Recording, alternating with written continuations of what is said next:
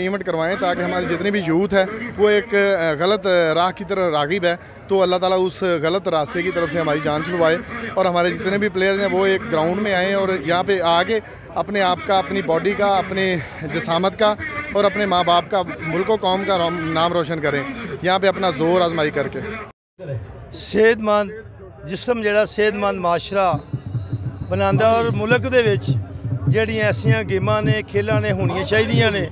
ਮੈਂ ਸਮਝਣਾ ਕਿ ਮਿੱਤਰਾਂ ਵਾਲੀ ਦੀ ਤਾਰੀਖ ਦੇ ਵਿੱਚ ਇਹ ਪਾਕਿਸਤਾਨ ਦੇ ਉਹ ਖੂਬਸੂਰਤ ਲੋਕ ਆਏ ਨੇ, ਜਿਨ੍ਹਾਂ ਨੇ ਪਾਕਿਸਤਾਨ ਵਾਸਤੇ ਵਰਲਡ ਕੱਪ ਜਿੱਤਿਆ।